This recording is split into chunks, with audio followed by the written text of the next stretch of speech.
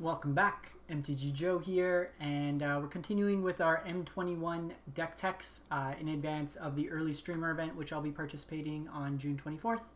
Um, so we'll be playing a bunch of decks, best of one for the uh, event, and um, usually uh, every set I'll release a bunch of decks. Uh, their initial brews, obviously untested, so uh, open to feedback along the way. Um, so what we have here is a Simic blue-green turbo ramp, uh, get Ugin out as fast as possible.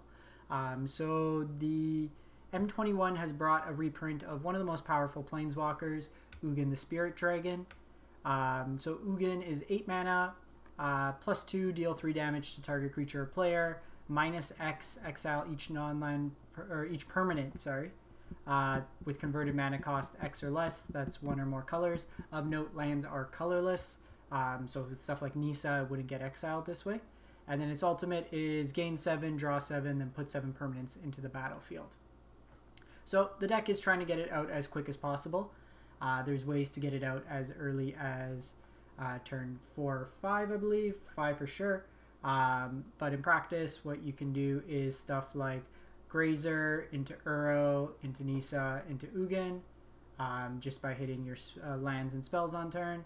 Um, there's also like Growth Spiral into Solemn, into Ugin, and then into Ugin. Um, so there's some ways around it. So kind of going through the cards itself, uh, three Arboreal Grazers gets put an extra land into play. We are playing a higher density of lands in this deck. Um, Bonds of Flourishing was something I wanted to try out. So generally these decks, you're going to win the long game uh, just by the nature of your threats being a bit more powerful on the top end. Um, what we wanted to do is bridge to that long game. So Bonds of Flourishing serves a couple purposes. Uh, it gains you life, most uh, relevant in the early game. Uh, it also helps you dig for a permanent. So it can help you find a creature, it can help you find the planeswalker you're missing, but it can also help you find the land. Um, we're putting lands into play with stuff like Arboreal Grazer, or Uro, but you need to refill your hand as well.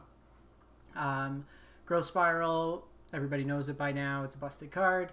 Uh, three Hydroid Krasis, three Uros, refills your hand, refills your hand, and puts lands into play. Solemn Simulacrum is a EDH staple uh, and something I haven't played in Standard. I wasn't around when this was last Standard legal. Um, but basically, what you're trying to do here is uh, fetch a land, and then when it dies, you get to draw a card, so it can help you dig deeper into your top end threats. Um, we're playing one Tamiyo as a way to dig, as well as recur some uh, threats if they die.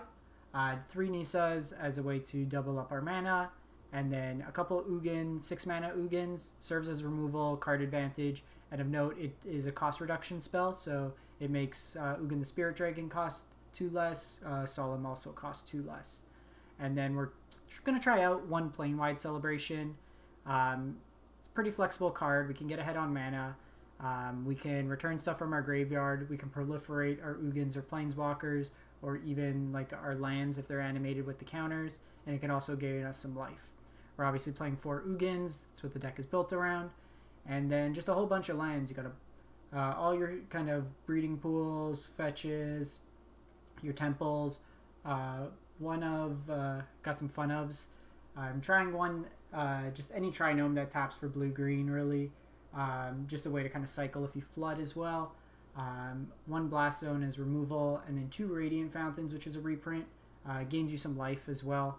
Um, obviously, it's a little hard when you escape Uro, but for the most part, uh, we should be able to cast it because we do have a number of uh, colorless cards in the deck.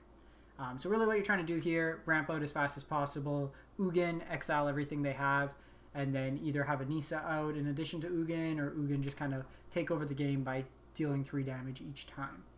Um, so that's pretty much the deck. I'm going to be coming out with a few of these um, quick like 5 minute deck tech style uh, videos. Um, I do have a bunch of deck lists on my Aether Hub. Might not get to a video for all of them, but if you do want to check it out, they'll all be up there.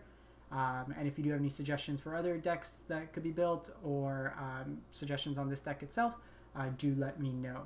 Anyways, thanks for stopping by. Hope to see you on the 24th during the early streamer event, and have a great one.